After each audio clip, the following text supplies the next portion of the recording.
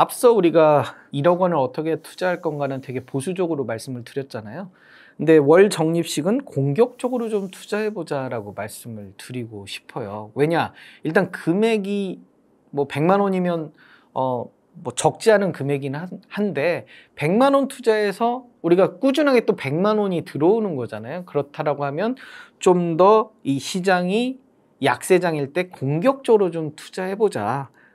그래서 100만 원에 투자에 내가 예를 들면 이번 달에는 만 원이었고 다음 달에는 9천 원이었고 주가가 그 다음 달에는 8천 원이다. 그러면 계속 이 분할 매수로 매수 단가가 낮아지는 좋은 측면이 있어요. 더 싸게 사는 거잖아요. 지난달보다 더 싸게 사고 지지난달보다 더 싸게 사고 오히려 주가가 내리는 게 고마운 상황이 되는 거죠.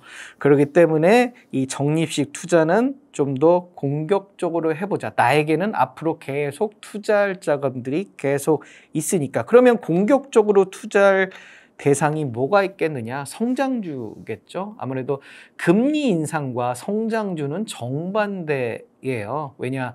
이 리스크가 큰 그런 상품들을 이 금리 인상기에는 좀 투자하지 않는 그런 경향들이 있거든요. 그래서 버블이 가장 심한 주식들이 많이 영향을 받아요. 안전자산 선호 현상이 강해지면서 버블 주식들을 던지기 때문에 그래서 성장주 대표적인 게 뭐 전기차 섹터일 거고요. 어, 미국의 빅테크 주들이겠죠. 이런 성장주들 많이 조정을 지금 하고 있어요. 애플도 우리가 이 실적 피크를 우리가 누린 이후에 하반기 실적 악화를 예상하면서 주가가 좀 조정들을 계속 보이고 있잖아요. 그래서 어찌 됐든 어, 이 시련은 지나간다. 그렇기 때문에 이 공격적으로 성장주들을 좀 투자를 해보는 거고요. 시장이 이제 다시 이제 강세장으로 돌변을 하고 주가가 어느 정도 더 회복을 하면 그 다음에는 이제 바꾸는 거죠. 수익 실현 측면에서 수익을 실현하고 고배당주로 이동을 하면 될 것 같아요. 그러니까 목돈을 어느 정도 수익이 나면 그거는 고배당주나 현금 보유로 일단 지키고 다음 기회를 노리는 거잖아요.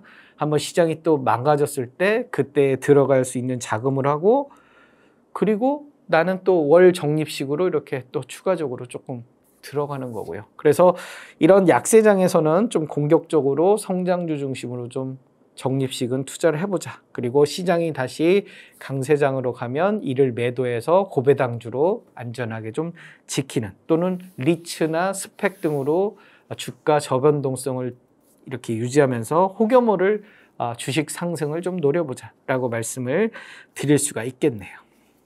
사실 매도 타이밍이 매수보다 더 어렵죠. 매도만 잘해도 우리가 따박따박 수익 시전을 할 수 있는데요. 합리적인 그 매도 이유가 있어야 될 것 같아요. 그 합리적인 매도 이유는 매수하기 전에 미리 세워둬야 되고요. 저 같은 경우는 이제 두 가지 포인트인데요. 첫 번째는 PER 기준으로 잡아요. 그래서 미래 실적 기준으로 예를 들면 PER 다섯 배에 샀으면 뭐 20배까지 버텨본다. 그러면 주가는 4배가 올라야 되는 거죠. 두 번째로는 시가 배당률 한 8% 정도에 사서 시가 배당률 한 5% 정도에 팔겠다. 그러면 주가는 한 3, 40% 이상 오르는 거죠. 그렇게 따박따박 이 목표 어치를 좀 세우고 그거에 어, 도달할 때까지 좀 기다리는 거죠. 다만 주식 시장은 생물처럼 움직이기 때문에 실적이 갑자기 좋아졌다가 꺾어지기도 하잖아요. 그렇기 때문에 우리가 실적 상황을 보면서 적절한 수익 실현을 좀 추구해 보자. 그래서 저는 절반의 매도를 좀 강조를 드려요. 그러니까 어, 우리가 100%벌 수도 있지만 한 50% 예를 들면 벌 때 한 반절 정도 파는 거죠. 내가 기대하는 기대치의 한 절반 정도 왔을 때 일단 반절 정도는 정리를 하고 나머지 반절은 기대치까지 가져가 보는. 혹여 시장이 꺾이면 다시 저점 매수 관점으로 접근할 수 있는 현금이 되기도 하고 또 다른 좋은 종목을 우리가 사기도 할 기회가 되기 때문에 일단은 어느 정도 수익 실현이 되면 절반은 욕심을 좀 버려서 팔아라. 차익 실현을 해라.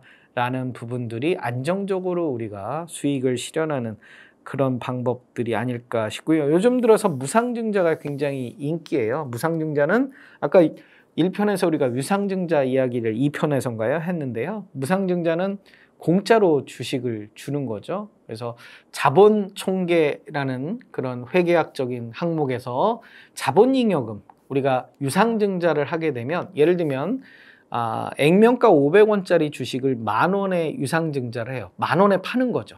그러면 액면가 500원은 자본금이 돼요. 그 9,500원은 자본 잉여금이 되는 거죠. 액면가 초과 발행금은 수익인 거잖아요. 그래서 수익은 잉여금 항목에 포함이 되는데 자본금을 늘리는데 쓰인 그런 잉여금이잖아요. 그래서 자본 잉여금이 돼요. 그 9,500원 500원은 나중에 무상증자 재원으로 쓰일 수 있거든요. 그래서 이 요즘 들어서 그 어, 무상증자들을 많이 하고 있는데요. 무상증자는 주가가 나중에 바뀌게 돼요. 가령 예를 들면 한 주에 한 주를 더 주는 이 무상증자를 하게 된다고 치죠.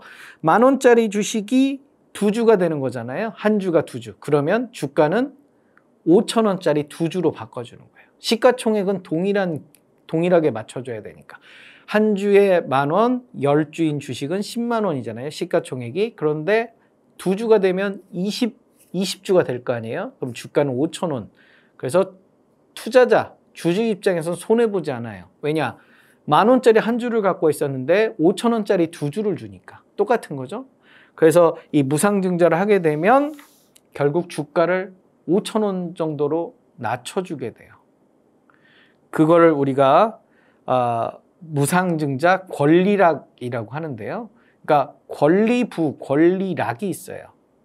우리가 공시에서 보면 무상증자 공시에서 보면 기준일이 있거든요. 그 기준일 이영업일 전까지 사야만 권리부. 그러니까 권리가 있는 거죠. 무상증자를 받을 수 있는 권리. 하루 전 하루 전은 권리락인 거죠. 이 권리락일에 주가를 5천 원으로 조정을 해준단 말이에요. 그러니까 뜻하지 않게 권리락 착시 효과가 나는 거죠. 주가가 상승하게 되는 거죠.